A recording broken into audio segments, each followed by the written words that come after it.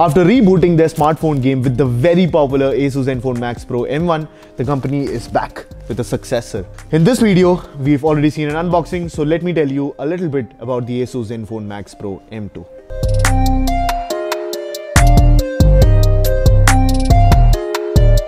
And also, before we get into the video, if you haven't subscribed to the channel, please do that and also hit the bell icon right next to it because it's there. Yeah. The glass back is so good.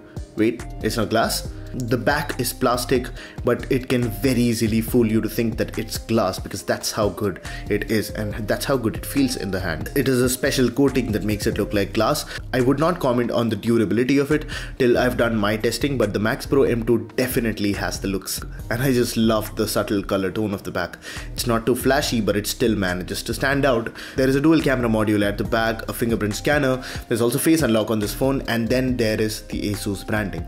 The buttons also also seem quite nice although I'm not a big fan of the glossy sides. Now when we turn the phone to the front the first thing that you notice is the notch display. Now the Asus Zenfone Max Pro M1 already had a great LCD panel and this one too has a full HD plus LCD panel but it just has a notch and that notch added with the wallpaper and the premium looks do make it look a little bit like the Asus Zenfone 5Z which is certainly a good thing. The panel looks really good and also covers 94% NTSC color gamut so is quite color accurate. The size of the notch is fine but the chin is slightly bigger than I would have liked. Uh, but that's it for the display. The Zenfone Max Pro M1 had a great display already and this is clearly an update to it. Apart from that, another one of my favorite things that make a return is stock Android. It's still Oreo, not Pie.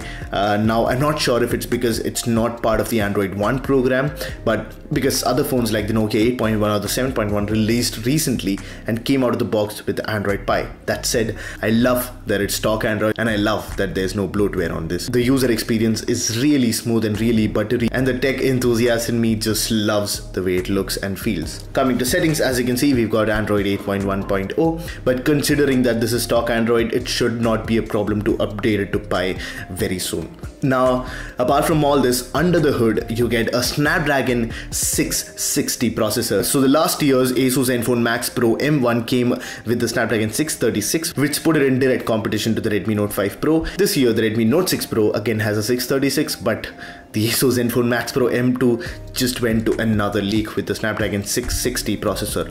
It comes with 3, 4 or 6 GB RAM versions just like the Asus Zenfone Max Pro M1. I'll obviously be testing out the phone for my full review so please stay subscribed if you want to see that. Uh, the review will be dropping very very soon so stay subscribed, hit the bell icon so that you'll know as soon as that video drops. There's one more thing inside the phone which is a 5 1000 mAh battery. So yes, just like the Asus Zenfone Max Pro M1 and I'm sure it was one of the main features of the Asus Zenfone Max Pro M1, the reason that the Max is there and that is uh, the 5000 mAh battery inside this phone. Now this battery with the display that's almost the same size as the Zenfone Max Pro M1, I'm expecting that the battery life also should be very similar considering that you still have stock Android although the processor is slightly different. Now let's see how the battery turns out in my full testing. It comes with a 10 watt charger inside so I'll also let you know the charging speeds in the full review. Apart from that another thing that made the Asus Zenfone Max Pro M1 very popular was the cameras on it. Now here also like the Asus Zenfone Max Pro M1 is a dual camera setup at the back tucked in very neatly. Now coming to the camera specs at the rear you have a 12 megapixel IMX486 sensor with an f over 1.8 aperture so that's nice. You also get a 1.25 micron pixel size so that's also good on paper specs do seem good. You also get a secondary 5 megapixel lens for depth sensing. There's EIS in the camera, you can record 4K through it. On the front you get a 13 megapixel sensor at an f2 aperture. Now this is of course on paper specs. Uh, these do look pretty good and pretty promising but I'll obviously reserve my thoughts for the full review or a camera comparison if you want to see that. Right now what I'll do is I'll show you a few pictures taken from the back and the front camera of the Asus Zenfone Max Pro M2. Go down in the comment section and tell me what you think of the samples, what your analysis is. Uh, it would be very interesting to know what you think about these camera samples.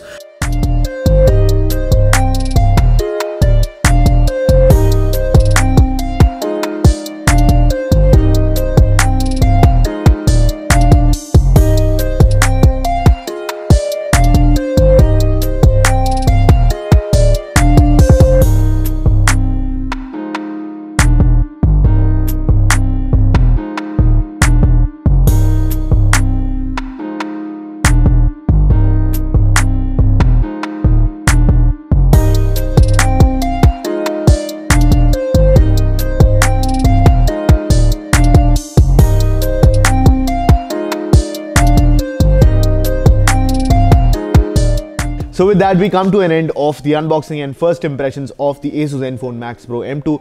Please let me know what you thought of this unboxing and first impressions in the comment section below. If there's any feedback, anything that you want to tell me, please again go back in the comment section below. I'll jump down there and answer each and every one of your queries. Uh, I guess with that, we come to an end of this one. This is Sreehari from Mr. Phone. Thank you so much for watching and I'll catch you in the next one.